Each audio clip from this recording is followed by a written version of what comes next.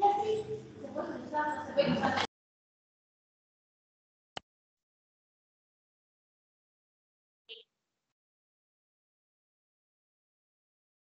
podés, por favor, pasar este, eh, un charquito para vos, un charquito para vos va a ser.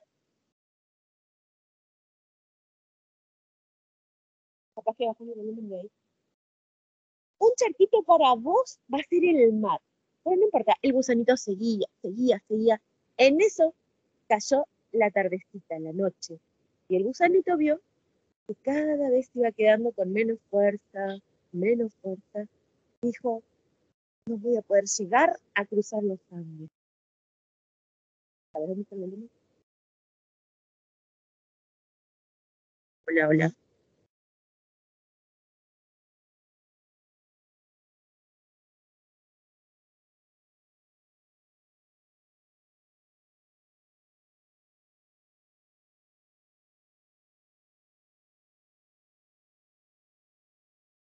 Dale, habla, más vale que sí.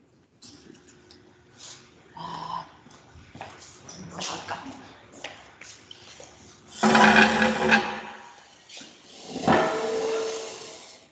Entonces, dijo el gusanito, ya está. Estoy mirando que no voy a lograr llegar allá, a la cima de los Andes como era mi sueño y mi anhelo. ¿Ahí escucha mejor? No sé si prendí el micrófono. Ah, no. Ah, sí, sí, está bien. ¿Está prendido? Sí, sí. Que dice, todavía se escucha un poco lejos, pero mejoró. Ahora mejoró, profe, ahora está perfecto, gracias. No de nada. Entonces, empezó con las últimas fuerzas que quedaban, le quedaban. ¿Sabes qué pasa, chicos? Que los compañeros están a tres metros de mí. Capaz que me puedo sacar el barrijo entonces. Ah, eso ustedes querían. Entonces le dijo, se dijo a sí mismo, voy a construir un capullito. Se subió despacito con las últimas fuercitas de gusanito que le quedaban, construyó un capullito y ahí se metió. Claro, vino la mamá hormiga, vino la mamá saltamonte, vino, la mamá mariquita y le decía a sus hijos, vieron, este gusano descocado, ¿a quién se le ocurriría cruzar los Andes? ¿Qué? ¿Pero qué estaba pensando? ¿Qué tiene en la cabeza este gusano? Y miren, así terminó, ahí, adentro en ese capullito. El tiempo pasó, por supuesto lo dieron por muerto, y después de, unos días, unos varios días, de repente asomó una antenita, después de ese capullito asomó otra antenita, se desplegó una ala roja y blanca, se desplegó otro ala rojo y blanco también, y adivinen esa mariposa a dónde se fue. Exactamente, voló a la cima, cruzó los Andes. ¿Qué tiene que ver esto con nosotros? ¿Qué tiene que ver esto con los pacientes?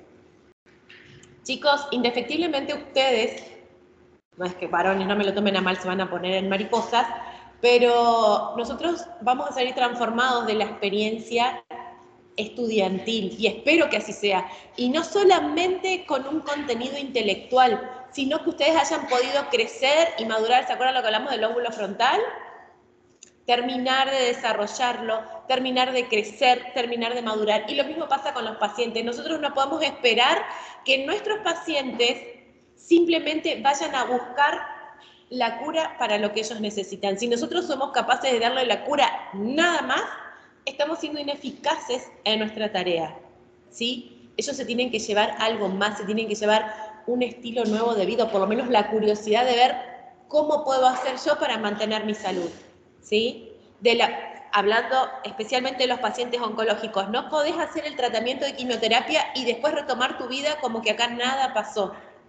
Porque si no te diste cuenta la importancia que tiene la familia, quiénes estuvieron al lado tuyo, tu vida amenazada tiene que haber significado algo, ¿sí? Entonces, al igual que esta mariposita, que este gusanito, que pudo llegar a su meta. Pero ¿cómo llegó a la meta? ¿Llegó gusanito o llegó mariposa? Llegó mariposa, llegó transformado. Así que permítanse, permítanse transformarse, ¿sí? Y no creo que sea una tarea fácil, por lo tanto, eh, Vamos a hacer una oración para pedirle a Dios que nos acompañe en, en- ahora en este rato, que seguramente ya lo venía haciendo con ustedes de antes también, y que nos ayude a que las experiencias nos transformen para bien, ¿sí? Porque esa es una decisión únicamente nuestra. Tengo una situación adversa, voy a salir transformado para bien o para mal. ¿De quién va a depender? Como dicen en portugués, so, so, eu, ¿o no? ¿No, ¿no se dice así? ¿No? ¿Cómo se dice? Bueno, eso, oramos. Padre nuestro que estás en los cielos, gracias por este hermoso día que nos estás regalando, por este día primaveral. Gracias porque sabemos que tu presencia está acá con nosotros en este momento. Y gracias Señor porque tenemos la chance de, de poder elegir cómo nosotros queremos ser transformados, si para bien o para mal. Por supuesto, Señor, que elegimos ser transformados para bien y que las experiencias adversas, querido Dios, simplemente nos hagan más fuertes y mejores personas. Así que no pedimos que quites las experiencias adversas de nuestra vida, sino que nos ayudes a enfrentarlas, Señor, y darnos sabiduría para hacerlo de la mejor manera posible. Todo eso te lo rogamos, Padre Celestial, si es tu voluntad, en el nombre de Jesús. Amén. Bueno.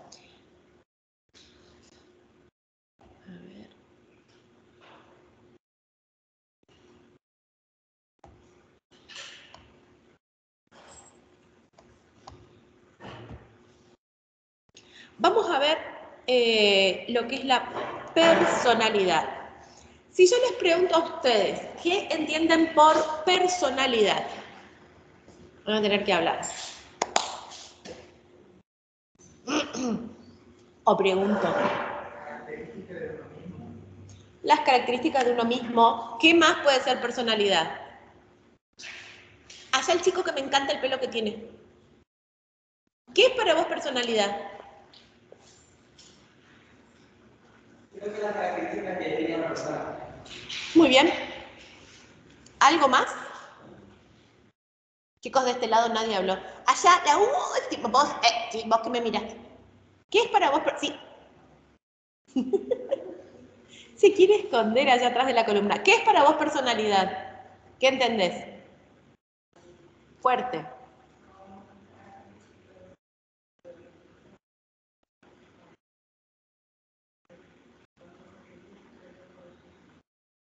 Bueno, no alcancé a oír todo, pero también tiene que ver con características y demás.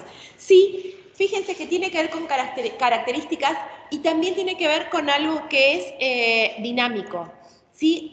La personalidad va a ser como una organización de cada individuo, va a ser dinámico y también van a confluir sistemas psicofísicos que determinan su ajuste único al ambiente. Si yo, por ejemplo, pego un grito ahora y me tiro al piso. ¡Buah! ¡Puf! Al piso. ¿Qué vas a hacer vos si yo empiezo a gritar y me tiro al piso? Ajá. Mamá de Miguel.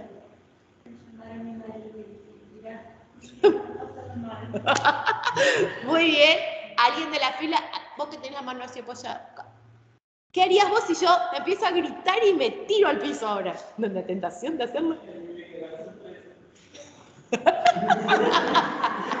Chico, loca.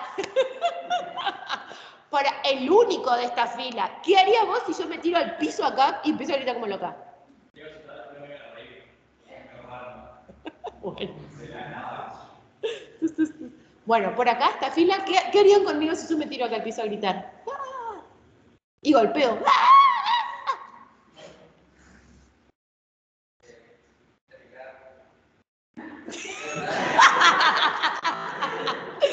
Bueno, gracias. Por lo menos no me vas a presionar una inyección. Fíjense esta última parte, ajustes únicos.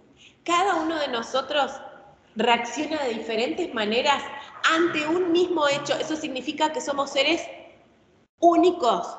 Ah, pero es que yo tengo un hermano eh, gemelo univitelino. Gemelo univitelino. ¿Reaccionan igual? No. Fuimos creados totalmente eh, singulares. ¿Sí? Y estamos en constante desarrollo. Fíjense, cuando ustedes eran chicos y la mamá de ustedes los dejaba en algún lugar, ¿qué hacían ustedes? Mami, no te vayas. Y le agarraban la ropa. Ahora, la madre de ustedes les agarra la ropa y ustedes se van igual. ¿Y ustedes siguen siendo la misma persona o no? Claro, pero se fueron ajustando. Este, y psicofísico hace referencia a la actividad que se produce tanto en la cabeza como en el resto del cuerpo, trabajando como una unidad. Va a determinar, como yo soy, va a determinar mi eh, ajuste al ambiente. ¿sí? Esto es bien individual, es de cada uno y no hay dos que sean iguales. Tenemos eh, como legado cultural, ¿se acuerdan cuando vimos hablando un cacho de Freud? Que les dije que no era un mal tipo, pero tenía por ahí sus ideas bastante controversiales para la época, incluyendo para la época actual también, pero algunas cosas eh, evaluamos que pueden ser muy útiles y otras evaluamos que no tanto. Bueno, él va a tener una teoría de la personalidad, ¿sí? Y también va a haber un enfoque humanista de la personalidad. El enfoque de Freud va a eh, proponer todo el tema de la sexualidad infantil y las motivaciones inconscientes que van a influir en el desarrollo de la personalidad. Y el, el enfoque humanista va a centrarse en nuestras capacidades internas de, este, de todo lo que tiene que ver, que ahora está muy de moda, con el autocrecimiento y en vos está el poder y, y concéntrate que lo vas a lograr y vos podés y todas esas cosas. Eso tiene que ver con el humanismo. Los investigadores actuales de la personalidad estudian dimensiones básicas de la personalidad, las raíces biológicas. ¿Cómo puedes cerrar esa ventana? Me está dando frío. Gracias. Las raíces biológicas de las dimensiones básicas y la interacción, ¿sí? Cómo se moldea la, las diferentes personalidades de acuerdo al entorno donde vivan. Si yo pongo, por ejemplo, un señor, un tal Hans Miller de Alemania, lo pongo acá, y traigo un carioca, pongo acá. ¿Quién les parece a ustedes que va a ser más introvertido? ¿Hans Miller o nuestro amigo carioca? Hans Miller, pero tienen, los dos son, del, humanos, los dos tienen piernas, tienen pie, tienen cabeza, pero fíjense que el ambiente los moldea. Ustedes los mismos chicos de Brasil se habrán dado cuenta el contraste de venir a la Argentina y de repente, además de ser agrandados, somos bastante más serios o no nos divertimos tanto como ustedes. ¿sí? Que tienen ya como la alegría en el ADN. ¿sí? Imagínense si nos vamos a ir a lo de Hans Müller, mucho más parco. ¿Por qué? Porque evidentemente el ambiente nos va a determinar de una manera u otra. Para Freud, Freud la personalidad humana incluye las emociones y tensiones que surgen a partir de eh, impulsos y restricciones. Tengo ganas de hacer esto, es el impulso. Y la restricción es, pero no debo porque eh, lo que le pasaría a Hans Müller. No debo porque la sociedad me dicta que tengo que controlar mis emociones, nadie tiene que saber lo que estoy pensando. Y entonces él va a decir que había ahí una, como una puja entre lo que tenía que ver con las tendencias al placer y con los límites sociales internalizados eh, de lo que estaba correcto y lo que estaba incorrecto.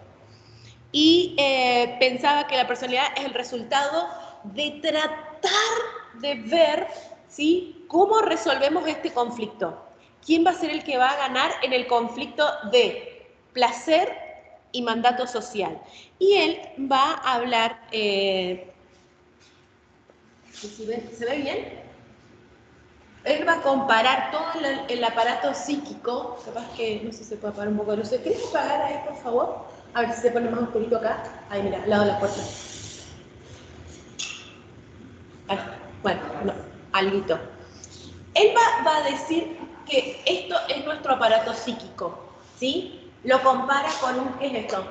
Titanic. Exactamente. Entonces, lo único, la superficie, ¿sí? Eh, es la, la otra línea más arriba. Ahí tenemos el consciente, que está bien arriba, que es la partecita blanca, ¿sí? Y él va a decir que el yo va a ser este, Ya vamos a volver. La parte ejecutiva, el yo va a ser el que va a expresar, ¿sí? Todo lo que está ahí empuja entre el super yo y el ello. Eh, y fíjense qué profundo, para él lo único que se ve es esto de acá arriba, pero todo lo que confluye entre esto y la como el interjuego que hay entre estos dos, él dice que de ahí va a surgir la personalidad.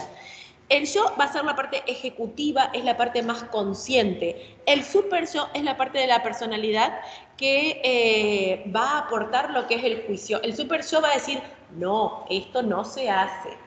Y el ello va a ser ese desgraciado que va a decir, anda, mata a tu hermano, anda, mata a tu hermana. Y entonces ahí viene el super yo y le dice, no, no debes matar a tu hermana. Y de esos dos los que gana es lo que el yo va a expresar. Es un lío, pero así lo había propuesto él. ¿Sí? Entonces, el yo es esa cosa que nosotros podemos ver de la personalidad.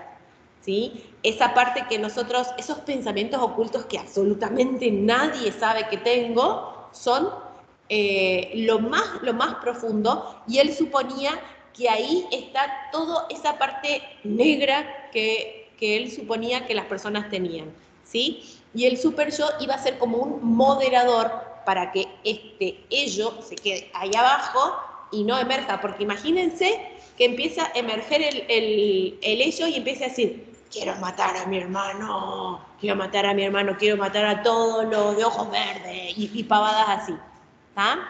Este, entonces, esa era la propuesta de él. El análisis de los pacientes llevó a Freud a convencerse de que la personalidad se forma durante los primeros años de vida. Llegó a la conclusión de que los niños atraviesan una serie de etapas psicosexuales a las que denominó zonas erógenas. Y acá hay una, una, gran crítica porque muchos decían, "Fo, este Freud, qué tipo más verde, pero él no lo proponía, según él, desde la etapa, desde lo sexual. Él lo nombraba como, él lo nombraba como simplemente como partes del desarrollo, pero él no, no lo tomaba a esto como una visión sexual, como por ahí eh, sería lo más común tomarlo. Entonces, él iba a proponer que había una etapa oral, una etapa anal, una etapa fálica, una etapa de latencia y una etapa de genitalidad.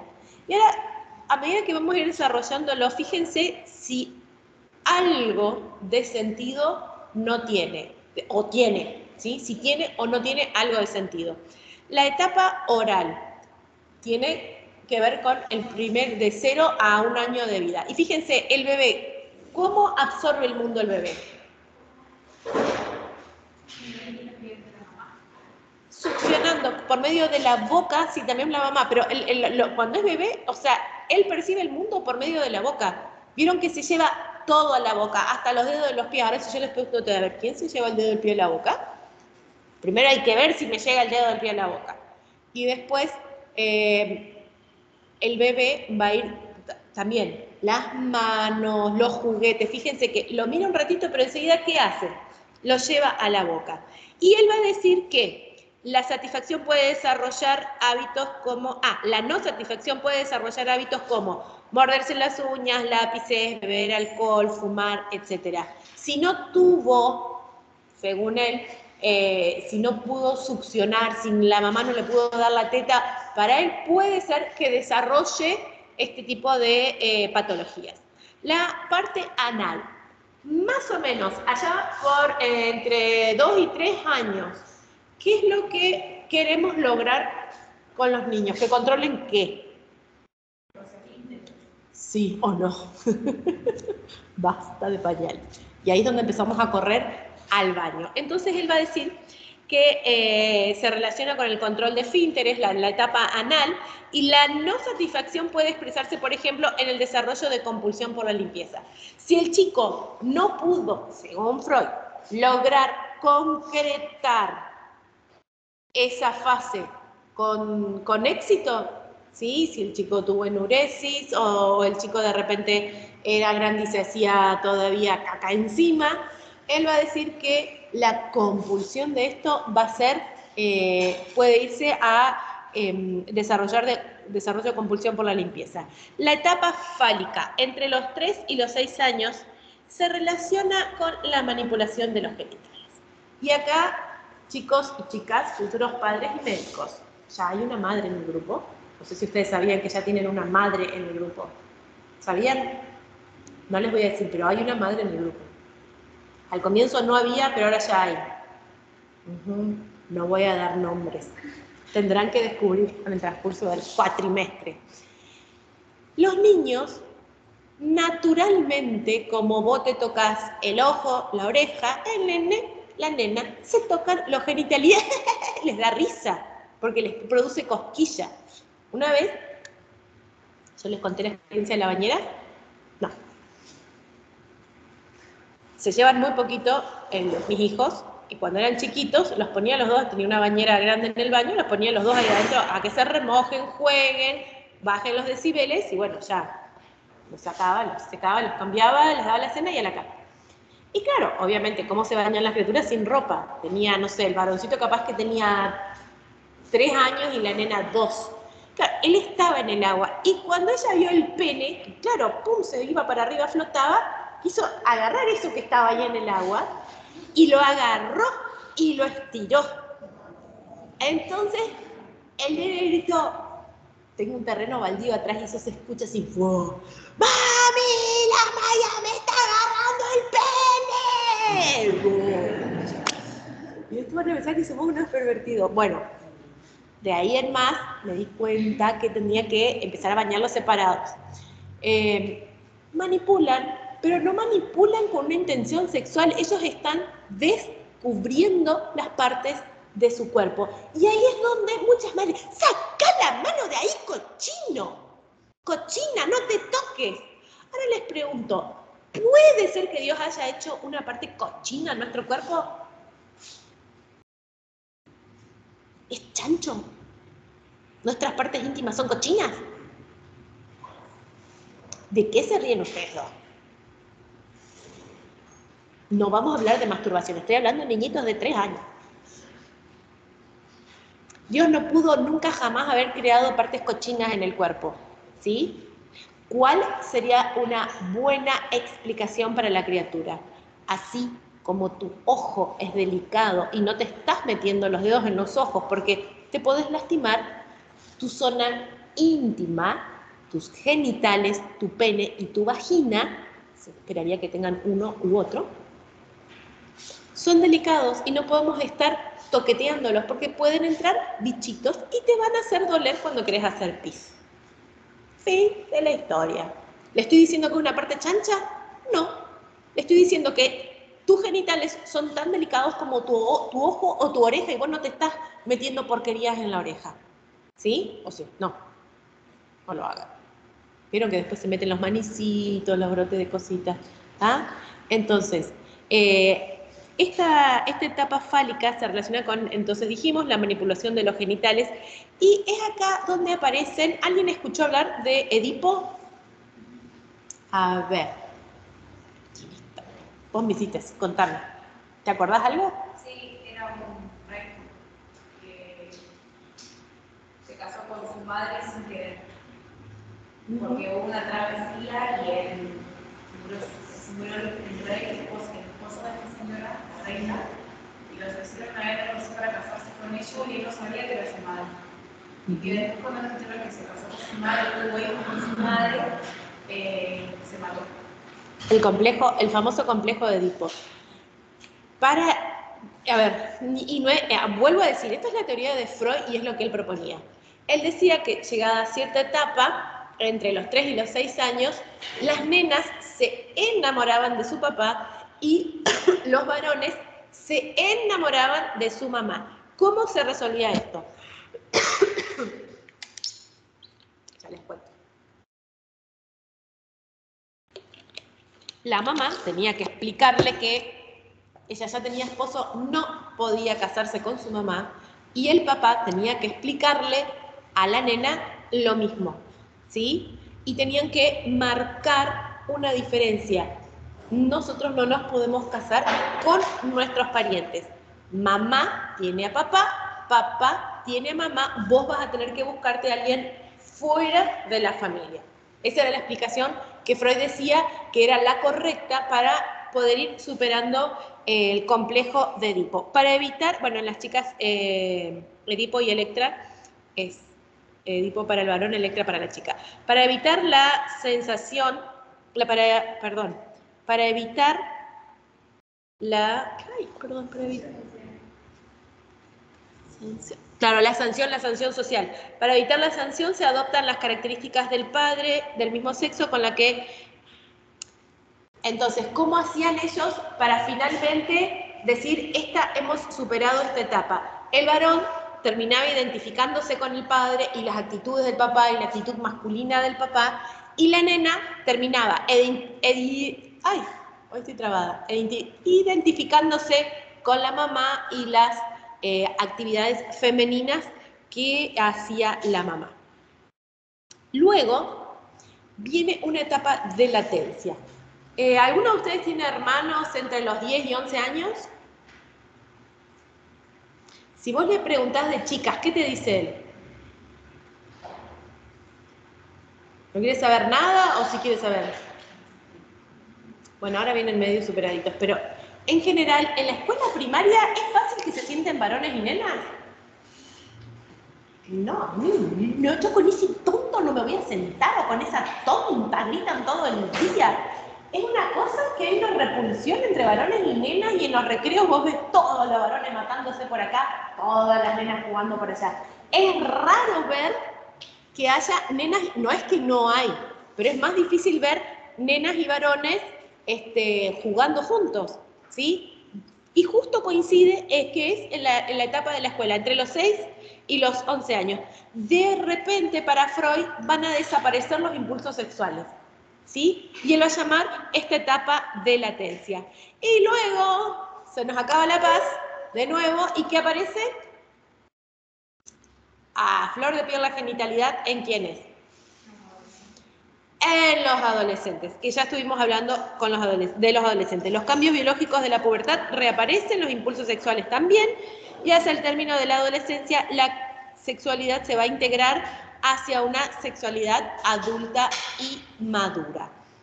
Esto es la teoría, de, la teoría psíquica o psicoanalítica de la personalidad que tenía Freud. Él va a decir que a partir de este cuadrito es como se construye la personalidad. Entonces, si vos no tuviste, eh, te sacaron la mamadera antes de tiempo, no te dieron chupete, según Freud, por eso te mordes las uñas y lo que puede, ser alcohólico, etc. Y así, según él, de acá van a, devenir los diferentes trastornos de personalidad a su vez. ¿sí? Entonces, vos podés pasar a otra etapa. De hecho, la naturaleza te lleva a pasar a una etapa a otra. Pero si vos no lograste em, superar esta etapa, entonces quedas como con, estas, este, con estos hábitos que, van a marcar en la teoría, según él, algún tipo de trastorno. Eh, bueno, esto, para Freud la conducta inadaptada de los adultos proviene de los conflictos no resueltos durante las etapas del desarrollo psicosexual. ¿sí? Entonces él va, va a creer que si hay conflictos es porque había etapas que no fueron superadas correctamente. Tenemos los test proyectivos, tenemos diferentes maneras de evaluar la personalidad. Por un lado tenemos los test proyectivos, esto yo siempre pregunto, y tenemos los test psicométricos. ¿sí? Los test proyectivos son, por ejemplo, ¿quién no escuchó alguna vez hablar de las manchas de Rorschach? ¿Alguien escuchó alguna vez hablar? ¿El test de Rorschach? ¿Las manchas? ¿En las películas? Nunca.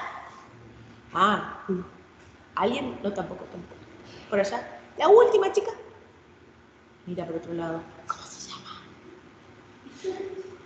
¿Escuchaste hablar de los test del test de Rorschach? Ay, sí. ¿Seguro? Bueno, son dos nomás, el de adelante y el de atrás. bueno, eh, ¿Por qué son proyectivos? Porque nos proyectamos. Te muestran la, figura y te dicen, te preguntan qué es lo que ves. y a partir de lo que ves, ellos van a ir puntuando, van escribiendo, te hacen muchas preguntas acerca de cada figura y lo que, lo que los usuarios de los test proyectivos dicen es como acá no hay algo que vos presientas si está bien o está mal. A ver, si yo les pregunto, ¿qué ven acá? Ajá. Por eso atrás, ¿qué ven en esta mancha? ¿Eh? Yo no me acuerdo nada de test proyectivo, así que no les voy a dar ningún diagnóstico, así que digan nomás. Parece, parece Ajá, muy bien. El murciélago de los chinos, ajá. Pare- Muchos chicos de medicina me dicen eso, ¿vieron cuando ves la tomo que vas cambiando? Eso siempre dicen en medicina, tal cual. Bueno, fíjense, fíjense que por qué muchos de ustedes dijeron parece, parece el, el- el hueso de la cadera o parece que viene una tomografía cuando vas cambiando que se va viendo, por el sesgo que cada uno tiene. Nosotros sin darnos cuenta nos proyectamos ¿sí? en los dibujos. Este test es el más utilizado y lo hizo, bueno, como su nombre lo dice, eh, un señor que se apelli- apellidaba Roger y lo basó en un juego infantil. Fíjense lo que hicieron ellos. En un papel, yo me imagino que era un día de lluvia, ellos estaban viendo evidentemente de cómo pasar el momento. Entonces, tenían un papel similar a este, tiraron una gota de tinta doblaron el papel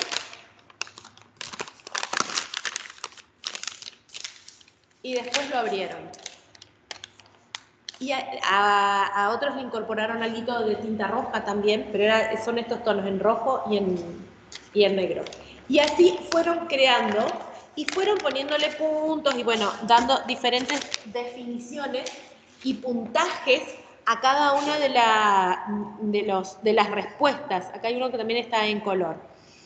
Eh, muchos lo utilizan como para ir rompiendo el hielo, porque cuando uno tiene que ir a hacerse un psicodiagnóstico o cuando uno va al psicólogo la primera vez, ¡ah! me está leyendo la mente. Sí, leemos la mente. Pregúntenle a mis hijos, mamá lee la mente. ¿Sí? Entonces, enseguida, ¿qué hacemos? O, tratamos de sentarnos bien, o no hablamos, o, ay, usted me, ya, a mí me da mucha risa cuando me dice, me está leyendo la mente, es lo que más quisiera, le digo. Pues, ¿sabes todo el trabajo que me ahorraría? Entonces, eh, para romper ese hielo, para, para ah, relajarse y poder, este, poder comenzar a trabajar. Y son ambiguos. ¿Por qué? Porque nadie te está diciendo si eso está bien o está mal. Puede estar muy bien como puede estar muy mal. Y esa ambigüedad te rompe las estructuras. Esa es la palabra que no salía. Rompe las estructuras. Entonces yo no me pongo a la defensiva, porque si no, lo, lo primero que hacemos es nos ponemos a la defensiva. Este, el test de Roger, es uno de los muchos test proyectivos. Otro test que tenemos que también es proyectivo es el TAT y fue creado de test de percepción temática y fue creado por un señor Murray. Por ejemplo, se les daba una, como, la que está ahí, una lámina y ellos tenían que hacer una narración. Necesito tres voluntarios.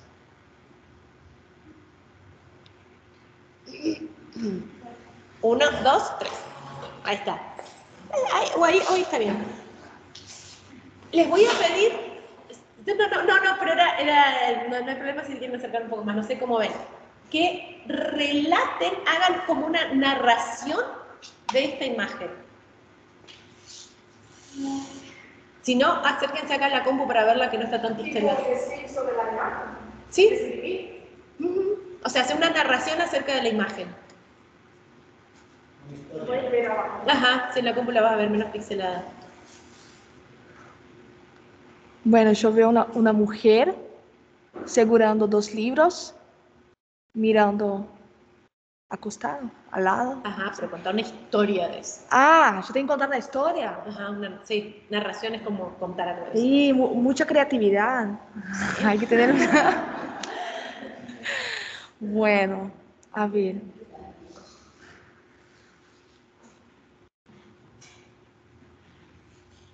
Qué difícil. Tenemos hasta las siete y media. Yo veo dos hombres trabajando. Ay, ni idea, profe. Muy bien, siguiente. Ay, chicos, manténganla lejos de la ventana, por favor, esta criatura.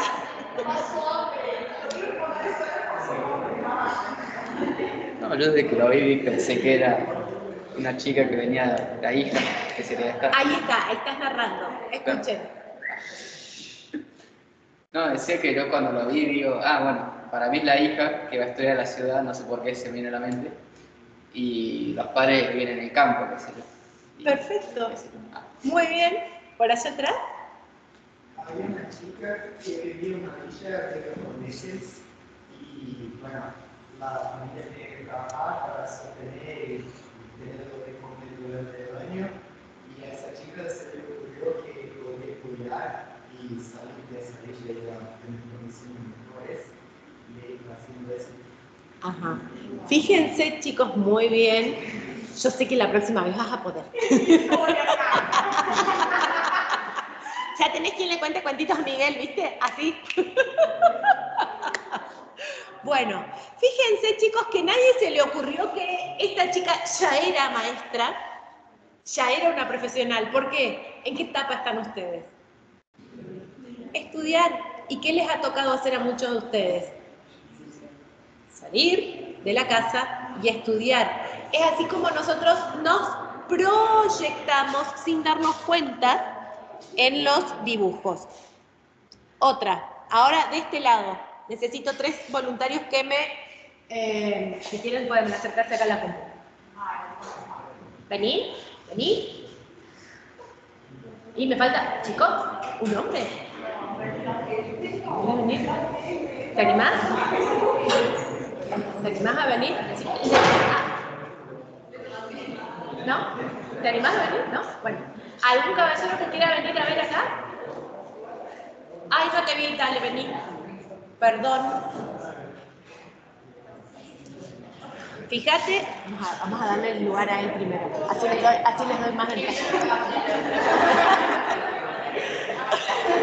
Fíjate, fíjate si no. No, fue una. Bueno, vamos a, ver qué es lo que. Sí, estamos como oreja nosotros. A ver, profe, ¿se eso? ¿Qué atrás? Puede ser que haga- ale- vamos a escucharlo. Lo que se te ocurra. lo Tengo que hacer una historia, literalmente. Va a estar bien. Sí, tiene que ser una historia.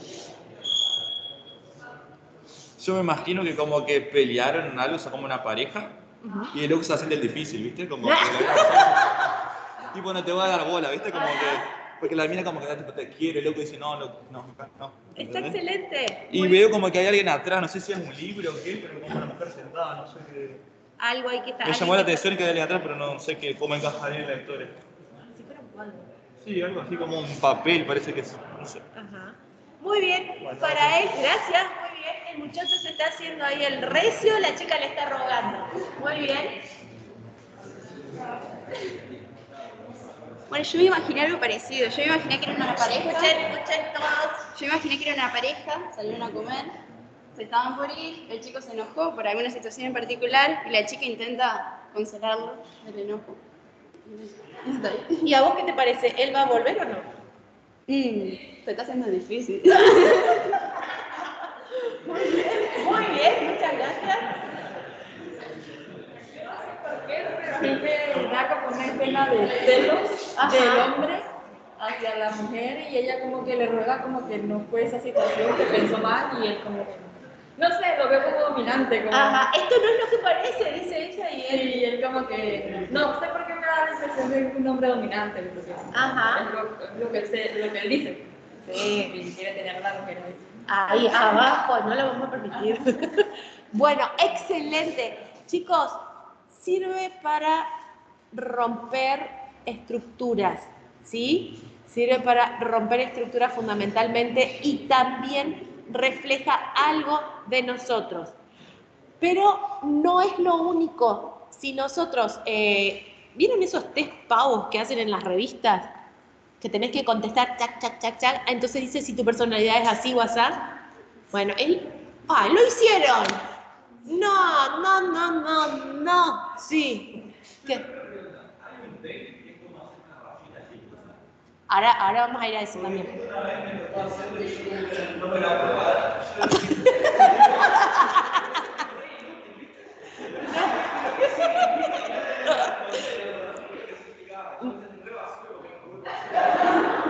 Pero era, era te- te estaban evaluando la personalidad o qué estaban evaluando?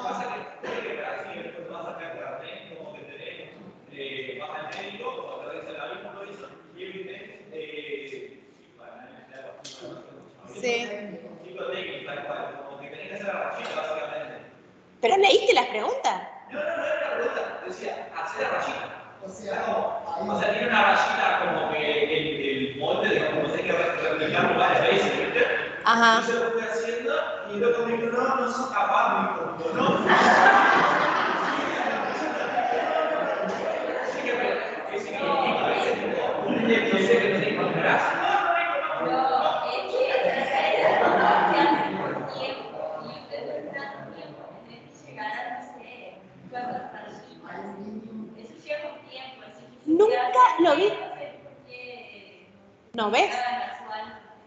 O sea, igual no cantidad. ¿Vos sabés que nunca lo vi a explicó Sí. Es más, me dijo, porque yo he hecho, ¿viste? Y una me queda medio mal. ¿Acá en Argentina hiciste eso? En Brasil, Ah, Y luego me dijo, no, pasa que él dijo así, te agarró, dijo, por, por lo que veo, vos siempre resolvés cosas que están en tu pasado.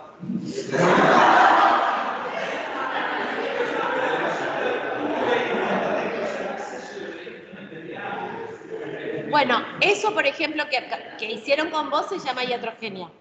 ¿Por qué? Porque nosotros no podemos por un solo test, porque evaluar un solo aspecto, nosotros con, el, con, el, con este tipo de test evaluamos un solo aspecto, sí. No, igual en Brasil no se hace eso, ese únicamente se hace porque cuando... Pero él desaprobó todo. Él desaprobó todo.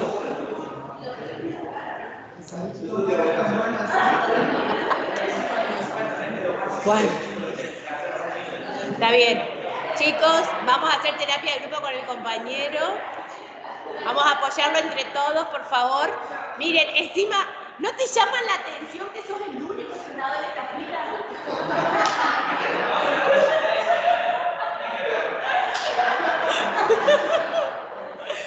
Algo hay.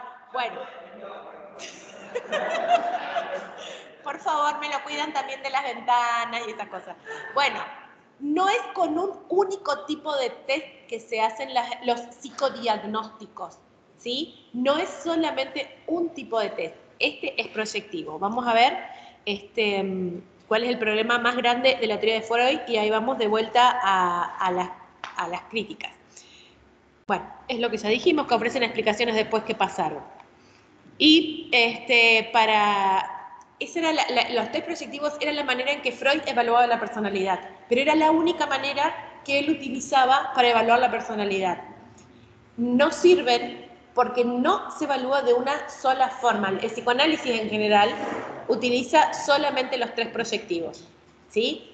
No sirve porque, no, porque evalúan solo un aspecto.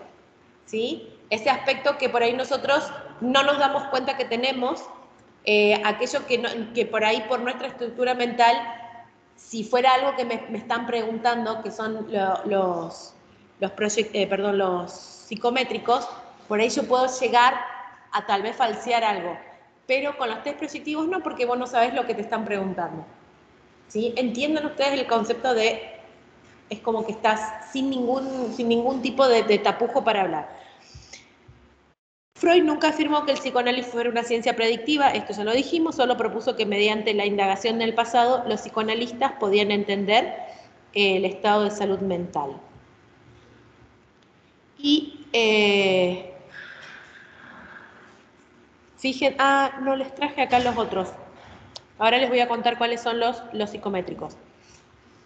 ¿Vieron cuando te ponen, eh, y se llama, se llama un puntaje de Likert que va del 0 al 5?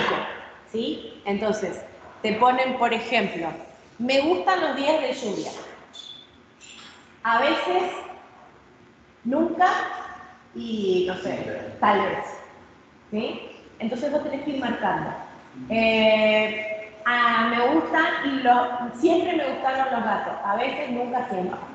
Al- algunas veces sí, algunas veces no. Tac, tac, tac. Y vas marcando, vas marcando. En esto, estos, los que es para ir marcando enunciados, son los psicométricos. ¿Cómo, cómo se construyen los test psicométricos? Se buscan eh, diferentes, eh, por ejemplo, cuando, cuando queremos medir personalidad, cuando queremos eh, tratar de ver qué personalidad es la que, la que prepondera en cada uno, ¿qué es lo que se hizo? Se buscaron millones y millones de palabras que describieran rasgos de personalidad. Muchas, muchas, muchas, muchas, muchas, muchas. Entonces, se los encolumnaron y queríamos decir que alguien era simpático. ¿Qué otras palabras podemos ocupar para simpáticos? Muy bien, ¿qué más? Muy bien, ¿qué más? Buena onda. ¿Sí?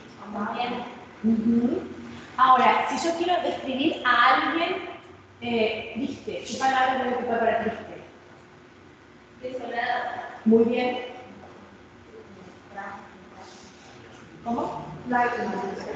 Llorar. Sí, pero, pero llorar no es una, una descripción. Es un verbo. Adjetivo descriptivo para alguien triste. Infeliz. Infeliz, muy bien. Bueno, así como ustedes van surgiendo y van, van viendo, así fue que crearon eh, unos test de personalidad. Entonces ellos pusieron diferentes rasgos, por ejemplo, ¿cuál sería el opuesto de, de depresivo? Vamos a suponer, eh, alegre. ¿Sí? Entonces ellos iban a decir, esto es toda una columna y vamos a ver dentro de alegre y triste, estás más cerca de qué? ¿Sí? De este continuo, porque fíjense que es un mismo continuo, nada más que son polos opuestos. Y ellos van a decir, los, que hicieron el criterio de personalidad, que nosotros no tenemos un único rasgo de personalidad, nosotros tenemos muchos rasgos y ellos dividieron todos los rasgos en cinco. Y entonces ellos van a decir que hay de estos cinco rasgos tenemos de todos un poquito, pero ¿por qué somos tan diferentes unos de otros? Porque tenemos de los cinco algunos que predominan sobre los otros. Y eso es lo que va a aportar la personalidad. Pero em, fíjense también que la personalidad también la podemos plasmar en dibujos, la podemos plasmar en lo que escribimos, se plasma en el arte, se plasma en la manera de vestirse, se plasma en la manera de andar, de caminar, todo impregna la personalidad. ¿ah? Entonces, no hay una única manera y si hicieron eso de solamente con eso de los palitos, está mal. Cuando te van a hacer un psicodiagnóstico, vos vas a tener test proyectivos y test psicométricos, y no uno y uno, sino varios. ¿sí? Eh, te van a hacer dibujar, te van a hacer algo similar a las manchas o, o- o algo así que sea totalmente desestructurado, y también algo bien estructurado como lo fue, eh, como lo son los test eh, psicométricos. Bueno, recordemos ya para finalizar, hoy va a ser la, la clase un poco más corta, que para muchas personas las ideas de Freud siguen siendo verdaderas, por ejemplo, que las experiencias infantiles modelan la personalidad, eh, que los sueños tienen significados, que muchas conductas re- responden a motivos ocultos. ¿No les ha pasado que han pensado en una persona y de repente esa persona aparece mezclada en el sueño y que nada que ver? ¿Quieren que les cuente algo horrible que soñé?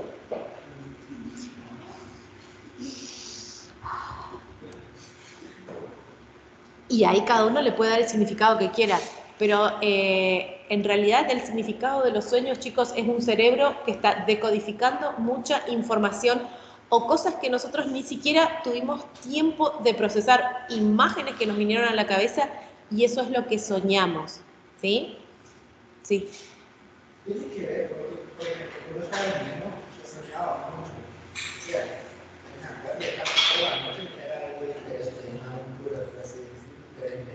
Después que se fue pasando, como que a veces sueño, yo me quedé sin cara.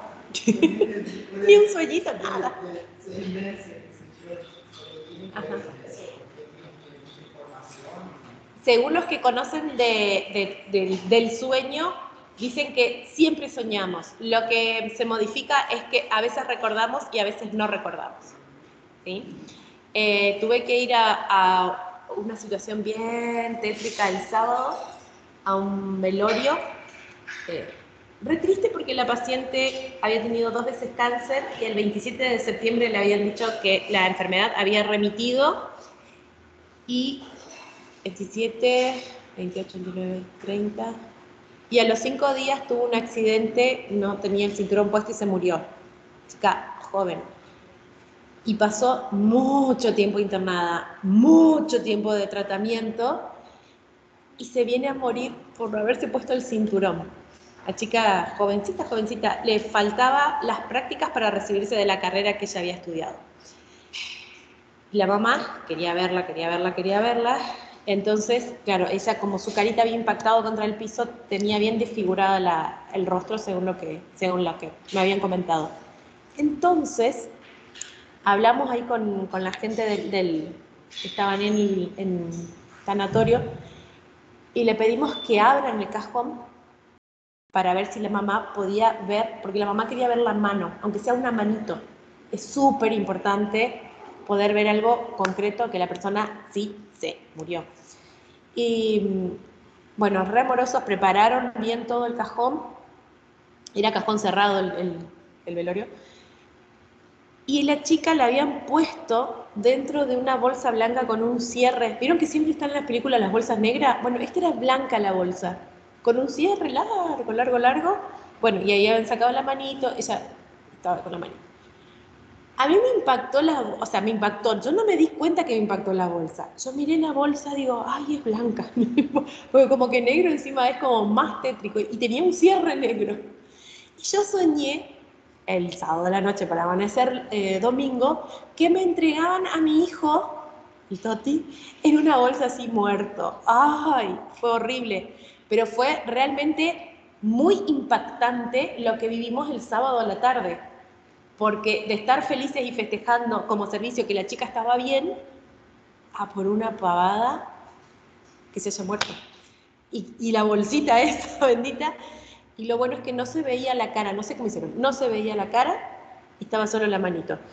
Pero bueno, a lo que iba era el sueño. Mi cabeza, claro, quedó así, obviamente, no me tiré al piso, ni hice pavadas ni nada, porque estaba conteniendo una persona, pero mi cabeza con, con toda esa información estuvo a dos millones por hora. Y soñé con, o sea, una de mis peores pesadillas siempre, siempre fue, desde que tengo hijos, que, que se vayan a algún lado, así como ustedes, a estudiar y que me los devuelvan así todos muertitos. Y bueno, y ahí se cruzaron los, los cables.